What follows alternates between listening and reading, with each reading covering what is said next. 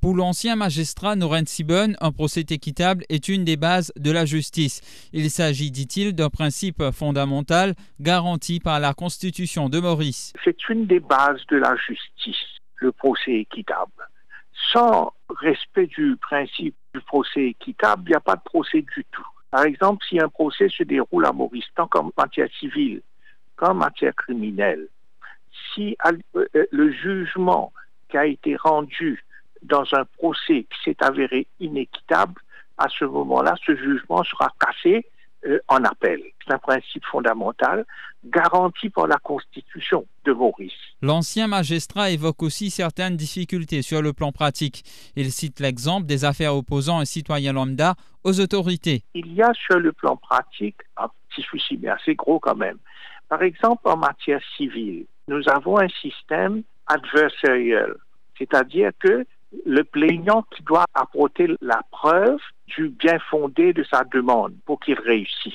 Donc c'est au parti d'apporter la preuve, la partie plaignante. Le problème, c'est que quand une partie a une affaire à une autorité publique ou à l'État, on n'est pas dans une relation de force égale. L'autorité publique a des pouvoirs exorbitants. Tandis qu'en France, par exemple, dans d'autres juridictions, on dit quand vous avez un procès contre les autorités publiques, contre l'État, des procès qu'on appelle des procès administratifs. C'est l'administration publique qui doit apporter la preuve qu'il a agi correctement. C'est pas le citoyen qui doit prouver la faute de l'autorité. À Maurice, sur ce plan-là, ça fait que le citoyen mauricien, dans un procès face à l'autorité publique, ses droits ne sont pas bien protégés. Le professeur en droit constitutionnel Rajen Narsingen parle d'une certaine lacune dans l'implémentation des lois.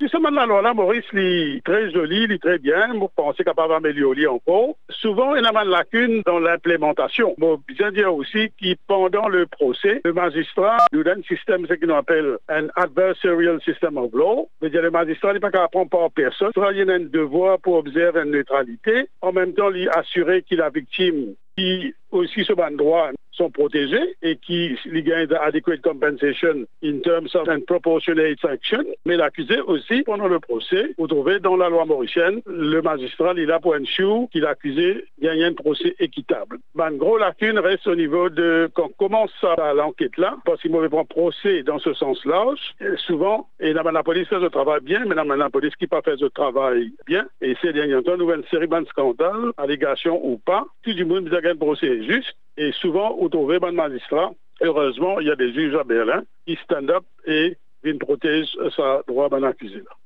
Pour plus de vidéos, cliquez sur like, abonnez-vous en cliquant sur subscribe et activez la cloche de notification pour rester informé.